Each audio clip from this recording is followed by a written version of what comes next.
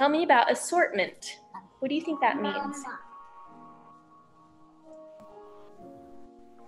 The same.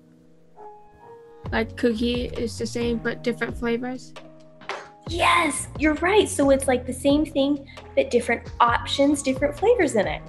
10th grade student Deja is hard of hearing.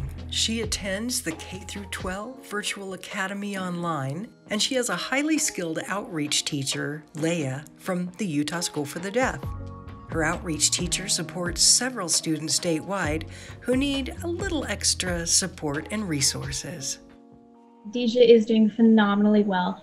I think one of her strengths that is helping her make so many good improvements um, her consistency. She logs into every Zoom meeting, she comes consistently and is ready to participate, and that ongoing consistency is really what um, has has been a really good factor for her success.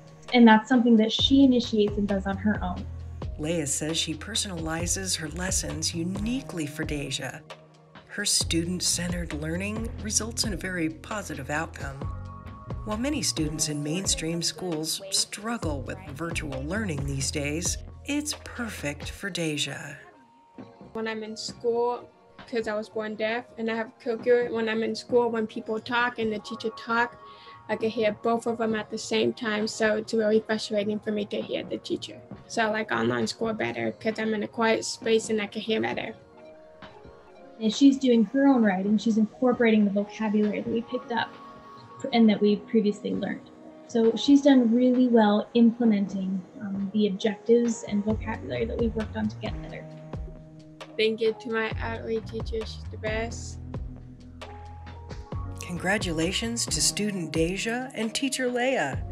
Keep up the great work.